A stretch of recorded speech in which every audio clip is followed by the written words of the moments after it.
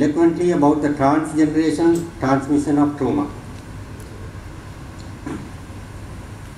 The trauma can be transmitted epigenetically or through parent-child interactions, family dynamics, socio-cultural perpetuation of a persecuted ethnic identity based on selective communal memories or so-called chosen traumas, and through narratives, songs, drama, language, political ideologies, and institutional structures.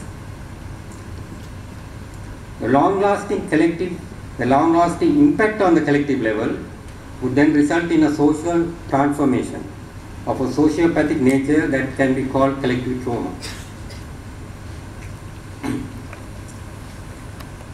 So here the table explores the characteristics of collective trauma across seven dimensions.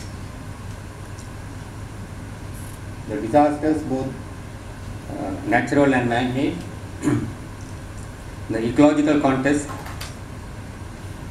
the causal conditions, and then the ecological context, signs and symptoms, coping strategies, consequences, and what we can do uh, at a community level, community level interventions.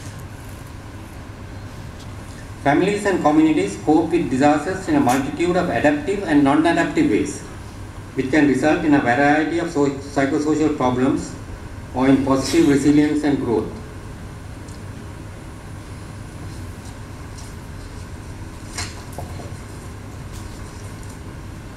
The impact of the catastrophic event on the individual has been well established internationally and was quite clear in northern Sri Lanka, such as 13% had PTSD, 49% with anxiety, and 42% with depression, the recent Vanni IDPs.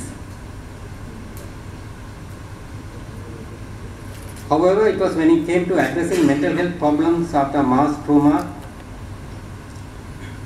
the impact on the community became evident. Conventional interventions at the individual were inadequate. Problems at the community level too had to be understood and addressed if the individuals were to be fully helped. Further, families and communities had to recover if meaningful socio-economic rehabilitation programs were to succeed.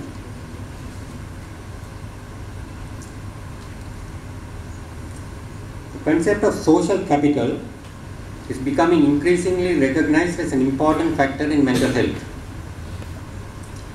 Disasters such as massive natural catastrophe or chronic civil war can lead to a depletion of social capital.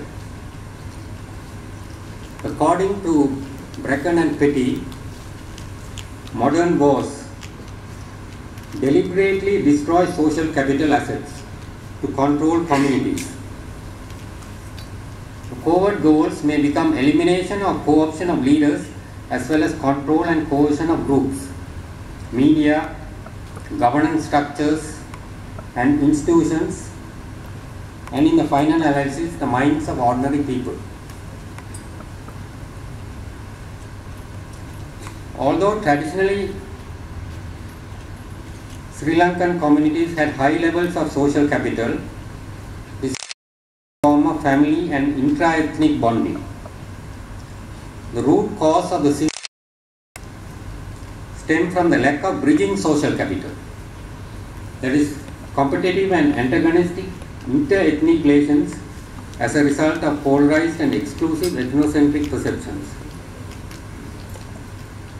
This could arise from a myriad of further subcauses like horizontal inequalities in opportunities, income and economic resources, ethnic suspicions and tensions, group exclusion, disparities in political access and participation, weak civic engagement with government leading to weak community links with the state, polarization between ethnic communities and experiencing ethnic based discrimination and humiliation.